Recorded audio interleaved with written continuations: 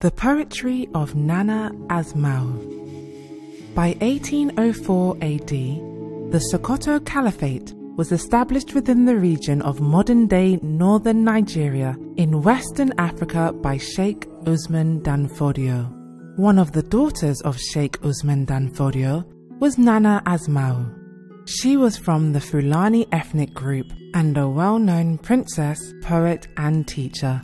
A prolific writer, the works of Nana Asmau include treatises on history, law, mysticism, medicine, theology, and politics, and was heavily influenced by the poetic tradition. Nana was also a multilinguist who could speak fluently in Hausa Arabic, Fula, and the Tamashek language of the Tuareg.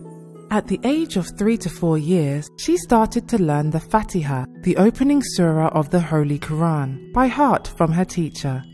By the time she was 10 years, she had read the Holy Quran in its entirety.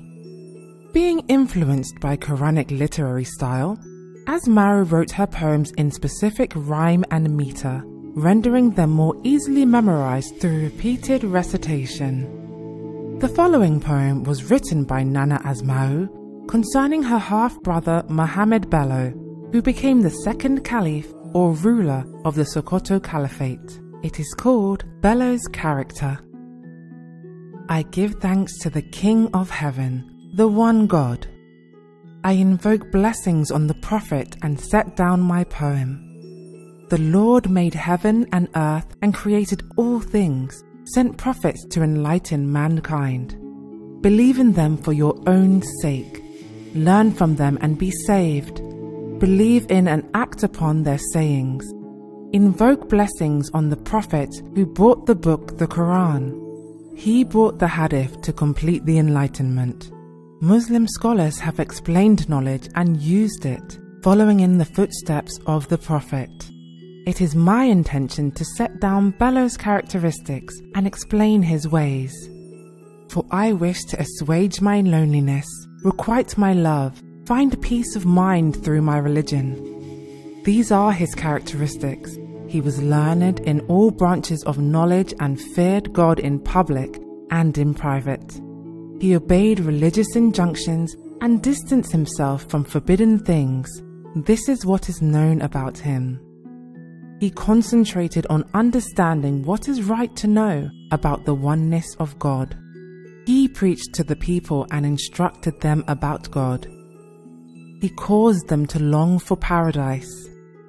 He set an example in his focus in eternal values. May God accept this poem. I have concluded it in the year 1254.